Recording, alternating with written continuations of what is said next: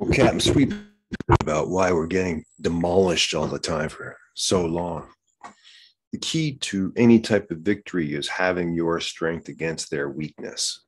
And so, if you can get all of your people or contraptions, whatever it is, together at once against a place of weakness where you are strong and they're weak, that's how you win. That's how all military victories are usually created.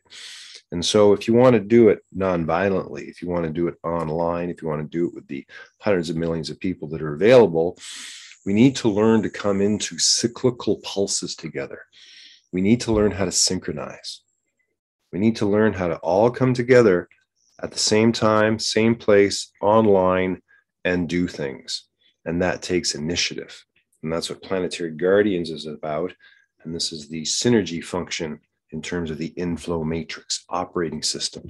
So these videos are a whole bunch of videos that together are there to help train you to understand how to use the conversation types and the values.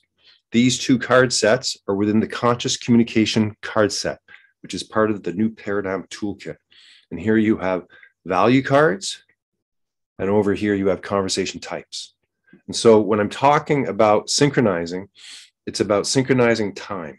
It's about getting the whole community together at the same time each month, getting the whole team together once a lunar cycle, and getting the whole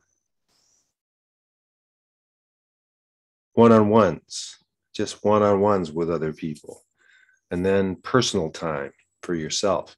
So there's personal space, one on one space, group space, and community space.